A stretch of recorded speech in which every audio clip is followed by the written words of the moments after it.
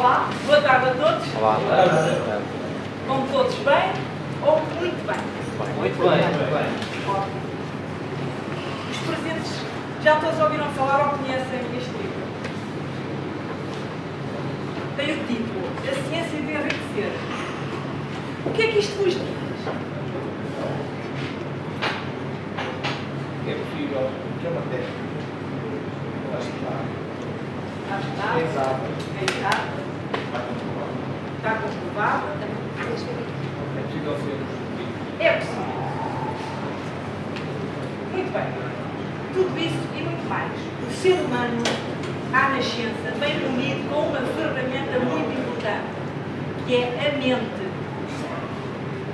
O homem tem o poder de controlar e direcionar a sua própria mente para quaisquer fins que deseja. Nascença,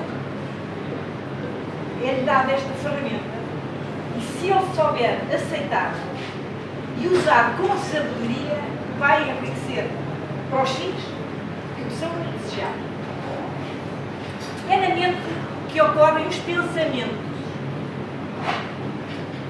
Os pensamentos são geradores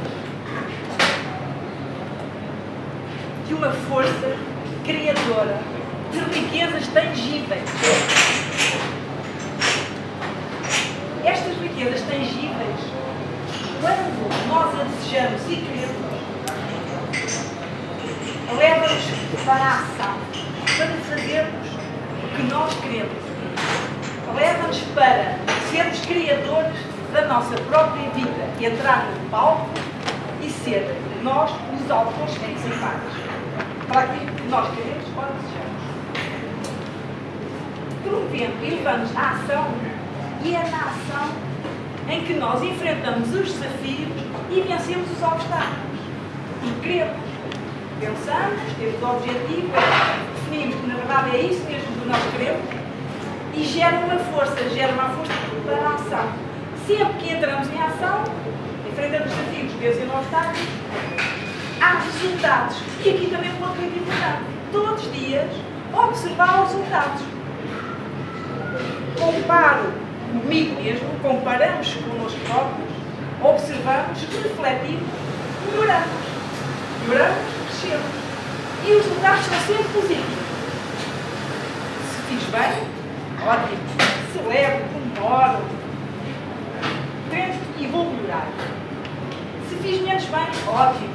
Refletir sobre os resultados, ver onde, onde posso melhorar e estou sempre a trabalhar pensamento, ação, resultado. O resultado do pensamento, ação, gera uma força criadora e enriquecemos. Segundo este autor, o Alice Walters, que não foi único, também o Napoleão Hill, o autor do livro Pensa e Fica Rico, também partilhou o mesmo pensamento deste, inspirando outros, como a Luiseiro, João Bertolini, o António Robbins, foram inspirados também por este senhor. E ele diz-nos que temos o poder para enriquecer. Mas de que forma? Entrando em contato com a força mais poderosa do universo. Sabem qual é?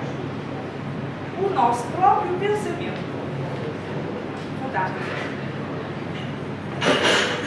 O resumo deste livro, da ciência de enriquecer, é um resumo que vem em jeito de enigma, que eu vou declamar para vocês e peço que me acompanhem para despertar também o vosso pensamento e decifrar este enigma.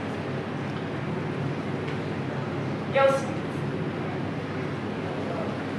Existe uma matéria pensante a partir da qual todas as coisas são feitas e que, no seu estado primitivo, penetra e preenche os intervalos de espaço existentes no universo. Uma ideia impressa nessa substância cria o que é visualizado pelo pensamento.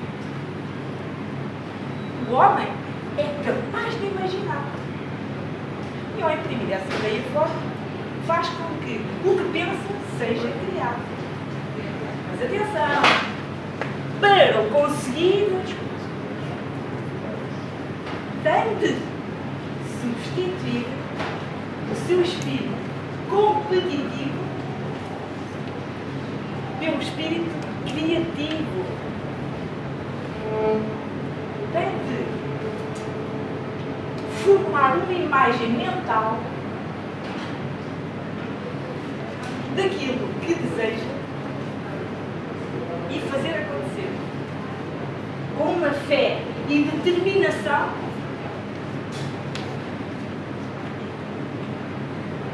de fazer o que deve ser feito em cada dia de uma maneira, de uma forma eficaz e de uma maneira, de uma maneira eficiente.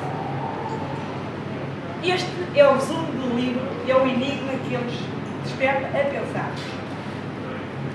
Então, em conclusão, é basicamente isto.